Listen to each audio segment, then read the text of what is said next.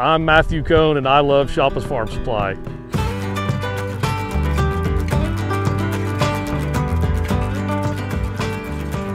Just outside of Brenham, Texas, we raise longhorn cattle.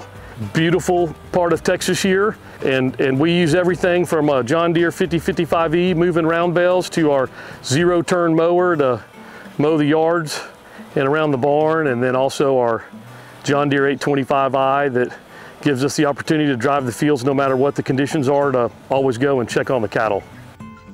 Well, I mean, agriculture in, in, in America and especially in Texas is John Deere.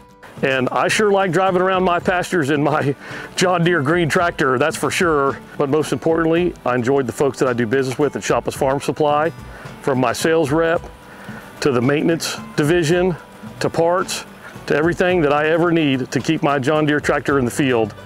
Buying equipment from Shoppa's Farm Supply is very easy for me. A simple phone call to my sales rep. He puts all the paperwork together for me he, exactly what I want, how I want it, gets it over to me, and the buying process couldn't be simpler. Yeah, Shoppa's Farm Supply to me that always comes to mind is family, uh, family-owned business. They treat their customers like family. I can call anybody at any time to get a problem solved, and they always answer the phone. They're happy to solve my problems for me. They consider my problems their problems and they, they solve it right away. So the, the relationship is, is why I deal with Shoppa's.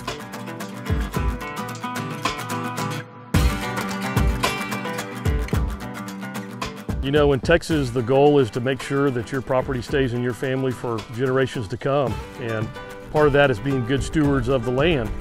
Uh, so it's important as a landowner that you maintain your property. Um, and, and we find the best way to do that is buying our John Deere tractors through Shoppa's Farm Supply. Um, because we are in different parts of Texas and in different counties, there's always a Shoppa location close by where if there's any issues, we're able to get those issues resolved uh, quickly. So yeah, it's a, it's a big responsibility that, that's been handed to me and that I plan to hand down to my kids.